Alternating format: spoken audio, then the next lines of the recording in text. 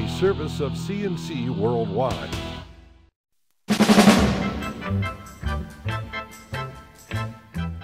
The Daily is a service of CNC News and Jib Jab Greetings. I'm Bud Lowell. The full AccuWeather forecast is right across the top of every CNC local news page. Rochester Police Chief James Sheppard says the department is putting some major attention into the string of shootings in the southwest side. Four people were shot between Saturday night and Tuesday night on Depew and on Salina Streets off Chili Avenue. In a news conference, the chief said this violence has raised significant alarm both in his department and in the neighborhood.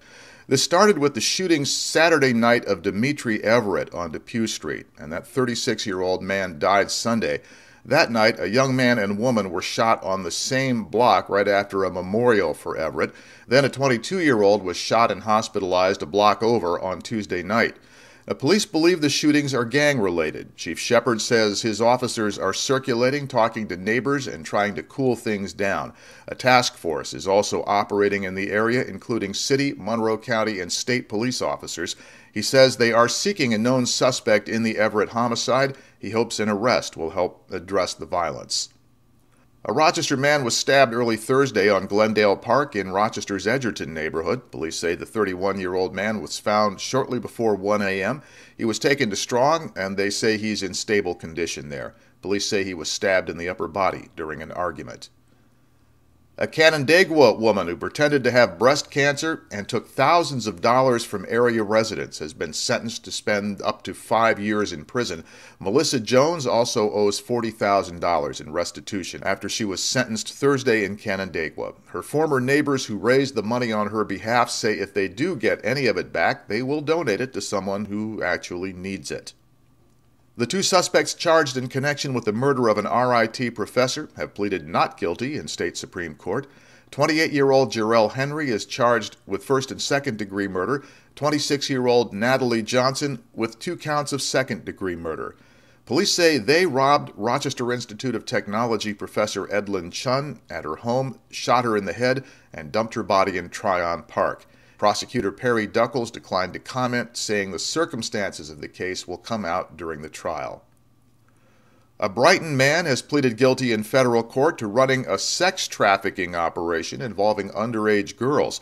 The U.S. Attorney's Office for Western New York says Thomas Kramer preyed on runaways and drug users. He admitted to enticing, promoting, and making money by prostituting five young girls. Authorities say these girls were between 15 and 17. Kramer is accused of placing ads on adult websites, then arranging for sex acts to take place at his home and at hotels in Rochester and in Buffalo. According to the Buffalo News, a former state trooper will avoid going to prison after he was caught lining up prostitutes for some off duty parties. Titus Taggart was dismissed from the state police as a result of the investigation. He'd been a member of the Thruway detail in Buffalo, and prosecutors say his off duty activities included bringing hookers across the border from Canada. He pleaded guilty in December in Erie County Court to a charge of promoting prostitution. He has been sentenced to serve three years probation and put in 300 hours of community service. There was an unusual statement issued by the East Rochester School District Wednesday saying there is no pending threat to students or the school community. A letter to parents in the community, signed by Superintendent Ray Giamartino and Police Chief Steve Clancy, says rumors circulated this week that the East Rochester police found weapons in an ER home and that a student had threatened someone. The district's school resource officer and other East Rochester police officers investigated these reports. They concluded the rumors were unfounded. No weapons were found at the home in question. No student made threats to harm anyone. The superintendent concludes that this was an unfounded rumor with no credibility. A Greece police officer was involved in a car crash Wednesday night at Long Pond Road and Maiden Lane. It was minor. The officer was brought to Strong Memorial Hospital for a checkup. This is the second time in a week an officer in Greece has been involved in an accident.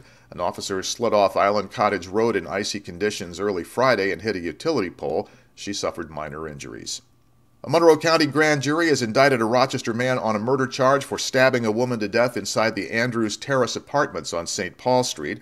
Police say 47 year old Dennis McFadden stabbed 32 year old Doreen Hildebrandt repeatedly in a stairwell at the high rise apartment building on January 29th.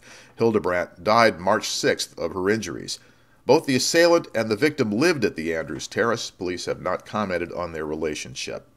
And the U.S. Attorney for Western New York says a Rochester City School District employee is facing a mail fraud charge for his part in a Jamaican lottery scam.